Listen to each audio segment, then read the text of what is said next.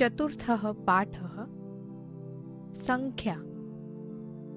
સંખ્યા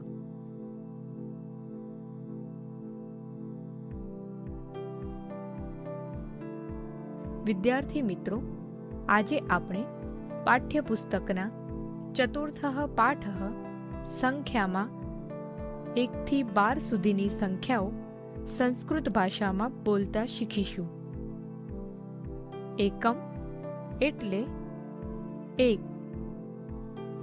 દ્વે એટલે બે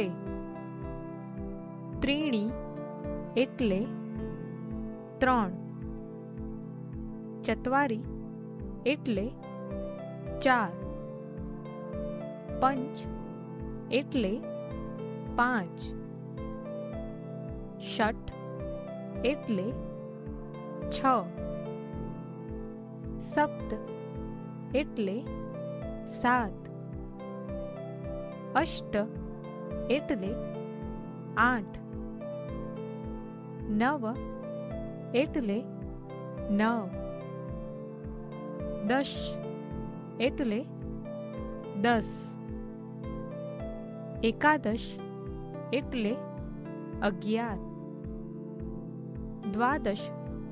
એટલે બાર